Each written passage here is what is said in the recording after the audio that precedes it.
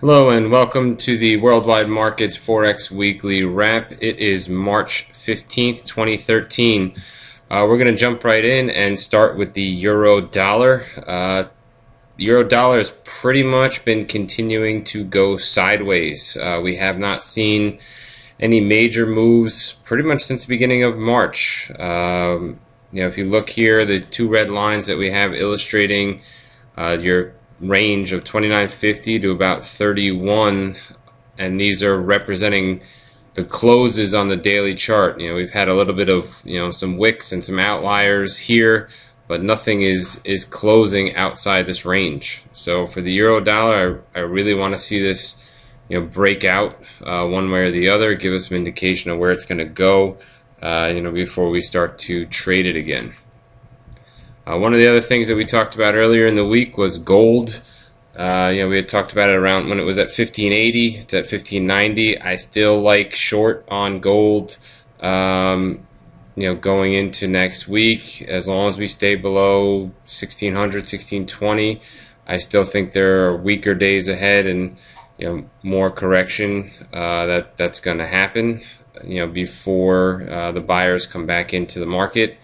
And the level that you want to keep your eyes on here is your 1526 and 1554 levels if it does break to the downside. Uh, you know, if you get breaks through either one of those levels, you could see some large moves. Uh, to the upside, 1620 is pretty much the uh, stop loss that I would have. You know, it's above some some other resistance, and if you break out above that, you know, you could see some renewed vigor in gold.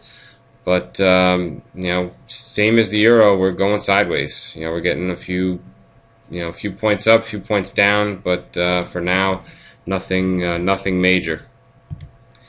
Aussie dollar, on the other hand, has you know has kind of been leading the charge. Uh, you know, you've seen the Aussie you know gaining strength against the U.S. dollar over the course of the last couple of weeks. Uh, we were at 10 101 at the beginning of the month. We're, you know, we closed out the week at 104. We're sitting right here on the 61.8% uh, uh, fib level on the four-hour chart.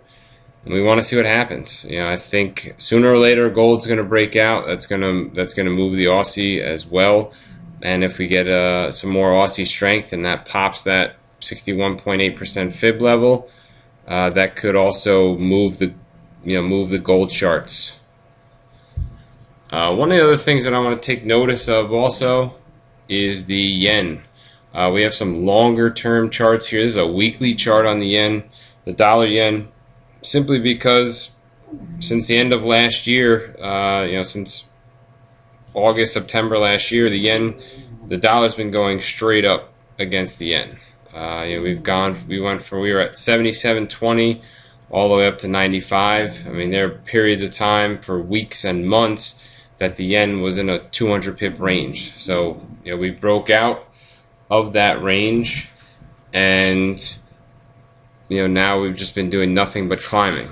Yeah, we've seen some some pullbacks, but you know it's not closing at these levels, and it's still continuing to uh, you know to go up. This is the first, the second down week that we've seen uh, since the end of last year. So we wanted to see some some levels that we'd be looking at. You know, here at 94, we have a 38% retracement level on a on a longer term chart, backing all the way down to uh, the swing high in in 2007. And then the next target, I guess, on the on the fib charts is your is pretty much your 100 level. So you know, we want to see what happens. You know, since this is the second week, we'll see if it resumes its upward move or if you know we'll we'll see some pullback and you know profit taking uh, on those that are you know long dollar yen. And then the other yen chart that we're going to take a look at is the euro yen. Uh, once again, you know, plenty of Japanese weakness here uh, euro strength. You know, we see a little bit of a double top that's starting to form. You know, we'll see what happens uh, next week. And you know, if this thing continues to drift down, you know, we're eyeing 118 170 to 119.70 as a range to see if it breaks through. Uh, if it does, you know, then we'll see a little bit of a trend reversal. If not, you know, you have your 23.6% fib level here that, you know, you didn't get a close below when it did pull back. So, you know, we'll pretty much waiting to see if it approaches that or if we'll, you know, see a renewed strength in the euro versus the yen and the dollar versus the yen uh, as we go into next week. That is all for this week. Uh, this is the Worldwide Markets weekly wrap up. It is Friday, March 15th. We will see you guys next week. Enjoy your weekend. Good luck with your trading.